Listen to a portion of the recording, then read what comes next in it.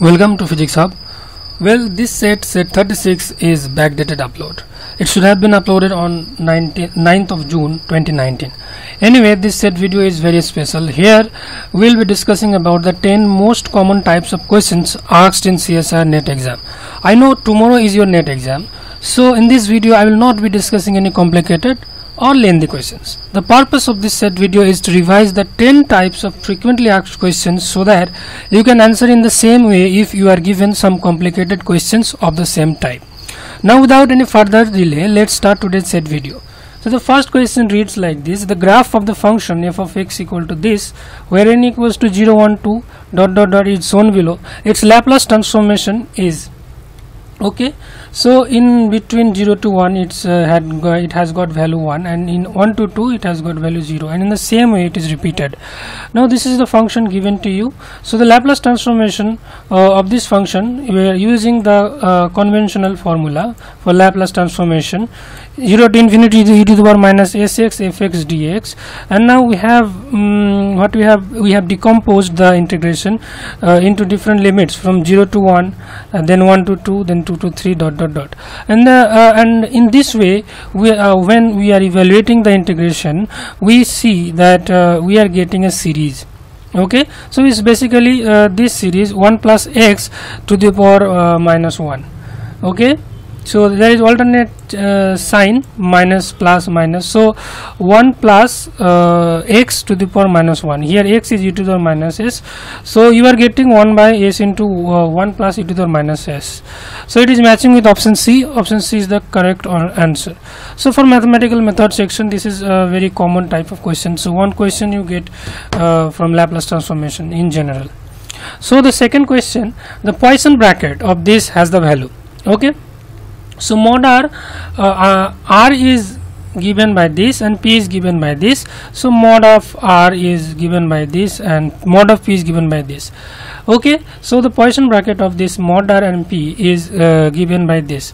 So you know that uh, there is a summation over uh, x y z okay so we will be getting three terms one related to x another related to y and the last one related to z. And uh, it is uh, summation of those three terms.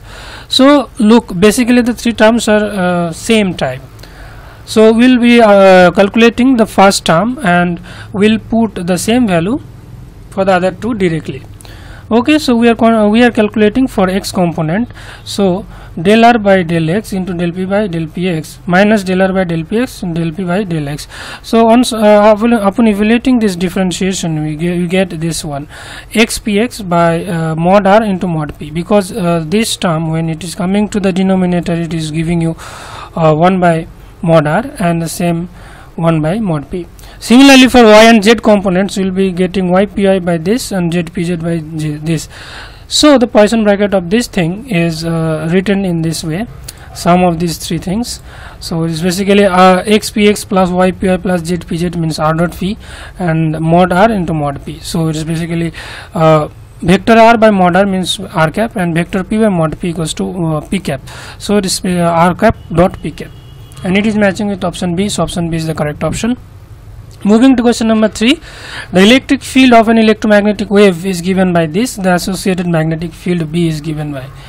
Okay, so what information we can extract from the from the given E? Uh, so the main formula is equals to E naught cos k, k dot r uh, minus omega t. So k dot r means uh, k equals to pi into 0.3 i cap plus 0.4 j cap and omega is 100,000 into pi and uh, b equals to k cap cross E by C. Now omega goes to Ck, so C equals to omega by k. So it is equals to uh, vector k into E by omega.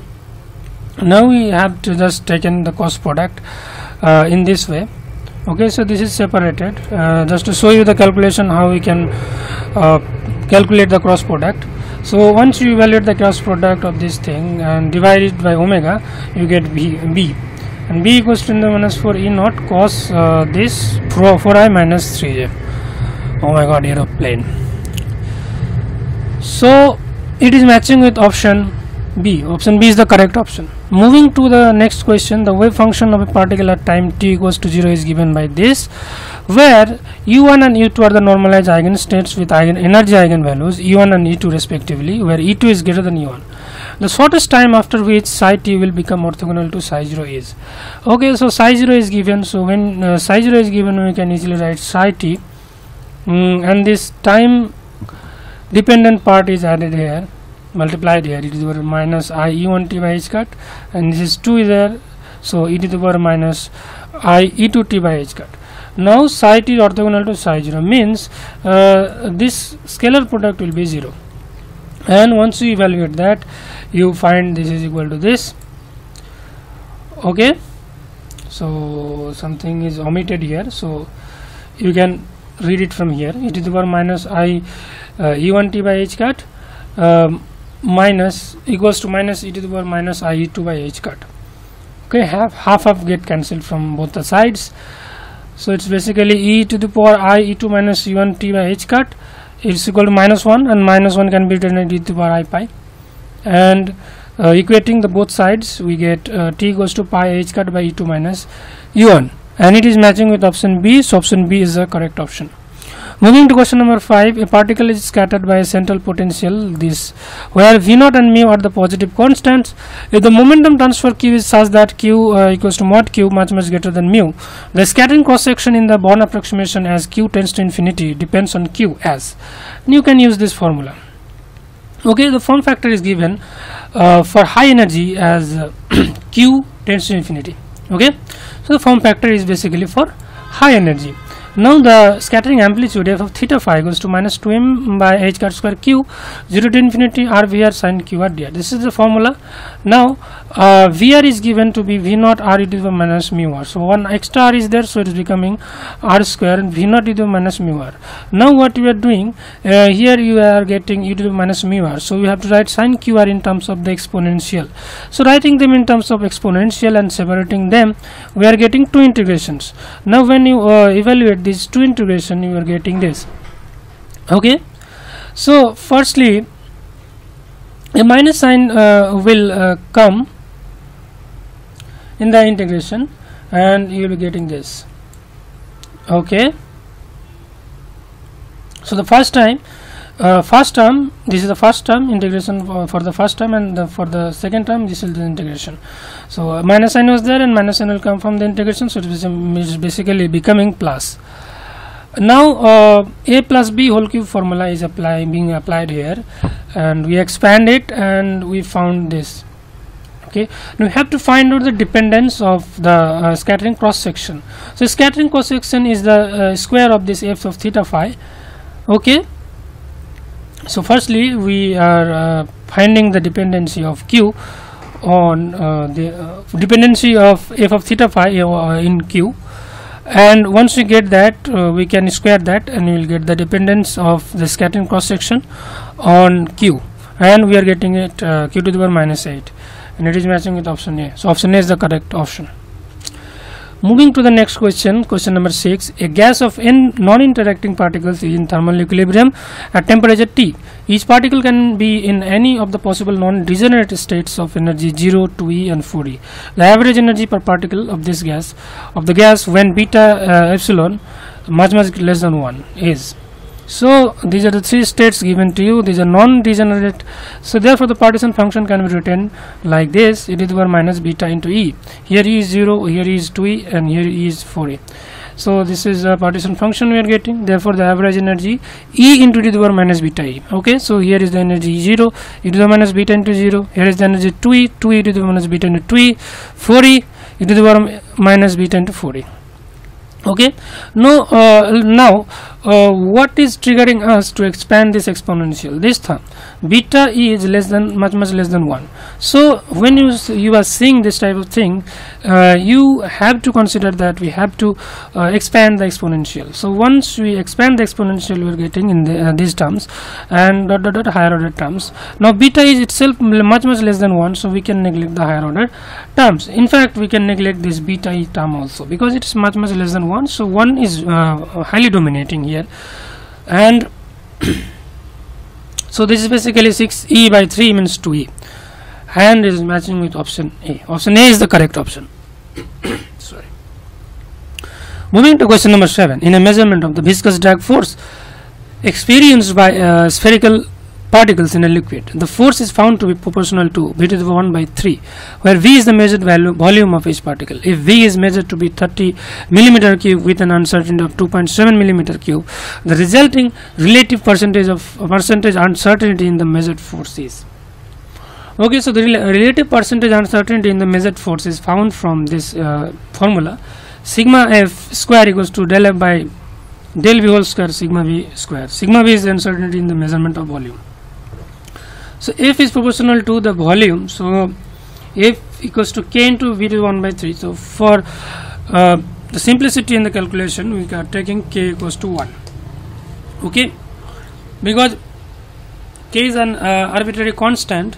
So if you are not given anything you can take it as 1 so mm, sigma f equals to del f by del v. So differentiating this expression of f with respect to v and uh, we are getting this now the value of uh, v and uh, delta v is given. So we just replace the values and we are getting 0.09 and it is matching with option b.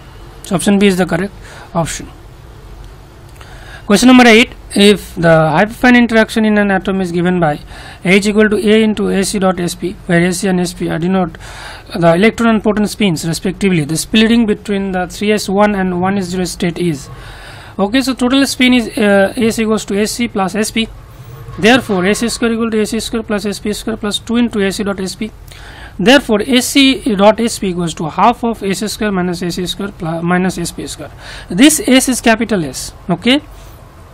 And the Hamiltonian is given by this. So we have just determined this term AC dot SP so H equals to A by 2 into this term now AC square into SP square equal to S into S plus 1 H cut square. These S are small s. Okay. And this is the capital S, this is operator. So value of S is half, so half into half plus 1 means 3 by 4 H, H cut square. Therefore the expression of H becomes this. Now we have to determine the energy for these two states then only we can find out the splitting between those two states. So for 3s1 uh, the multiplicity is 3 here so 2s plus 1 equals to 3 okay? 2s plus 1 this is the multiplicity. Oh my god I cannot write here okay? 2s plus 1 whatever it is 2s plus 1 so 2s plus 1 equals 3 means s equal to 1 means s square this is capital S okay? So this is small s. So small s is 1 1 into 1 plus 1 2s square h cut square. Here 1s0 means multiplicity 2s plus 1 equals to 1 means s equal to 0 therefore s square equal to 0 h, h cut square. Therefore h1 for 3s1 equals to a by 4 h cut square. And h2 for 1s0 is becoming minus 3 by 4 a h cut square. Therefore the splitting between 3s1 and 1s0 state is delta h equal to h1 minus h2 so it's basically a into h cut square. And it is matching with option b. So option b is the correct option. Moving to question number 9 the dispersion relation of photon phonons in a solid is given by this expression. The velocity of phonons at large wavelength is. So in this question uh, we are given uh, some limit large wavelength. So for large wavelength this uh, kx a ky a kz are small because k goes to twice pi by lambda. So when k tends to 0 lambda tends to infinity. And conversely when lambda tends to infinity k tends to 0 so these terms are basically very small. So when we, we know that if the terms are small then cos x if x is very small then cos x can be expanded. So we have expanded that and we have neglected the higher order terms. Okay? So omega square of k equals to omega naught square a square by 2 into and minus 1 minus 1 minus 1 so minus 3 and it is cancelling with this plus 3 and this kx square plus ky square plus kd square terms remaining. So it can be written as k square. Now omega equals to omega naught a by root 2 k. Therefore the uh, velocity means group velocity here so V is equals to d omega by dk. So it's basically omega naught A by root 2 and it is matching with option D. Option D is the correct option.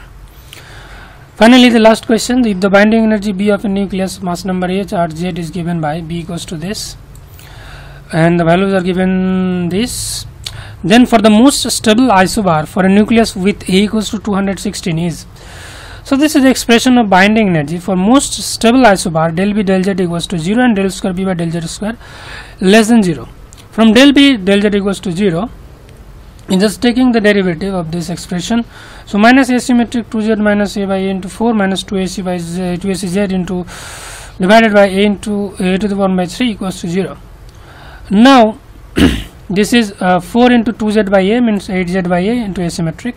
Minus minus plus 4a, a symmetric minus 2ac into z by a to the 1 by 1 third. Now we are uh, gathering the term of z and keeping the extra term on the right hand side. And uh, by doing some simple calculation putting the values given to the question we are getting it to be 84.29 means approximately 84 so 84 is the stable isobar and it is matching with option C. Okay? And uh, this is the end so I have tried my best to provide the solutions in great detail. Irrespective of this, if you have any doubts, confusions or queries, you can comment down below. I will try my best to clarify them all. Any kind of suggestions are always welcome. And all the best to all the CSIR net aspirants. Remember one thing that a cool mind is the ultimate weapon in this exam. Don't get nervous. Face this exam boldly and carefully. Everything will be alright so this is all for today guys. If you find this video helpful please give it a thumbs up. And if you are a new visitor of this channel please subscribe the channel and press the bell icon so that you never miss any update. Keep sharing keep loving and keep exploring the wonders of physics. And finally thanks for watching